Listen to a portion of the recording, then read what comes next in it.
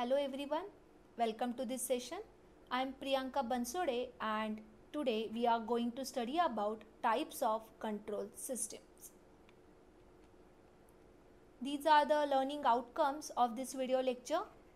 At the end of this session, students will be able to describe different types of control system.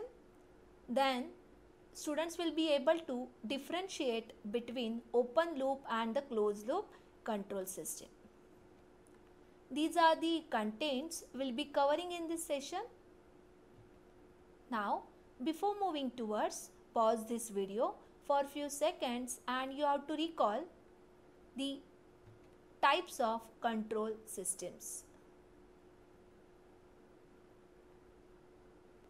According to the classification of control system, it is divided into natural and man-made. Then again man-made is divided into manual and automatic control system. And again open loop and the closed loop control systems are the types of automatic control system. So in this session we will concentrate on open loop and the closed loop control system with an examples.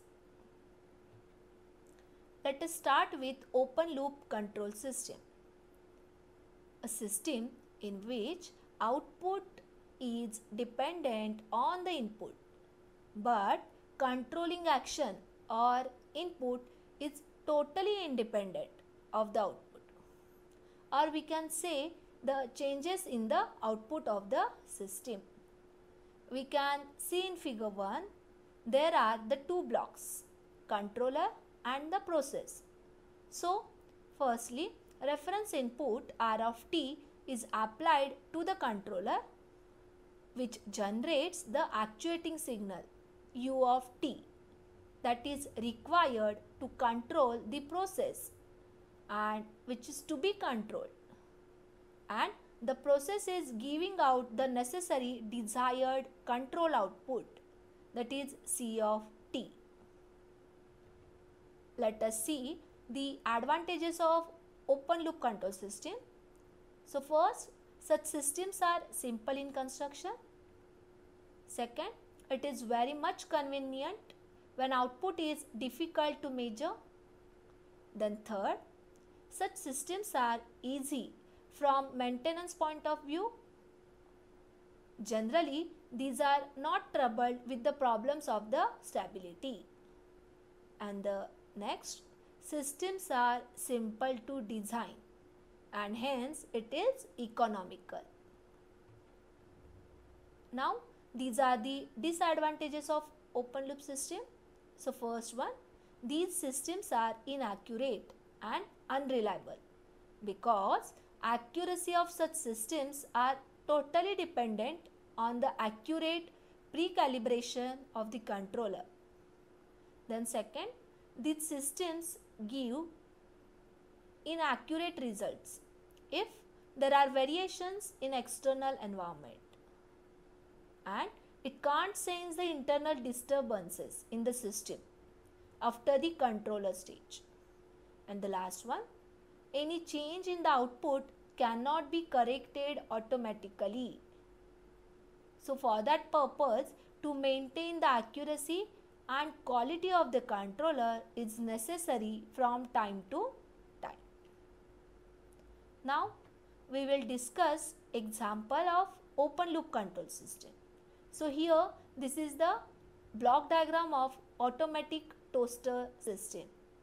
So here, relay is the controller and heating process of bread are taken place desired time and the power both are inputs to the controller and the output of the toaster is what? Actual toast. Means the toast prepared at the last stage. So in this system the quality of the toast it depends on what? Time. For which the toast is heated. Then again it depending on the time setting bread is simply heated in the system in the oven and the toast quality is observed by the user and has no effect on the inputs. Now we will discuss about closed loop control system. A system in which the control action is somehow dependent on the output. It's called closed loop system. So in closed loop system feedback is required and feedback control systems are referred to as closed loop system. Before moving towards let us see what is feedback. So feedback is what? It's a key tool that can be used to modify the behavior of the system. Means with the help of feedback we have to modify the behavior of the system. Then it compares the output signal with input signal in order to generate the error signal. With the help of that we have to achieve or generate the desired output. With the help of feedback we have to reduce the error also. Here this is the block diagram of closed loop control system. So here the various signals are represented. R of t is the reference input. Then B of t is the feedback signal.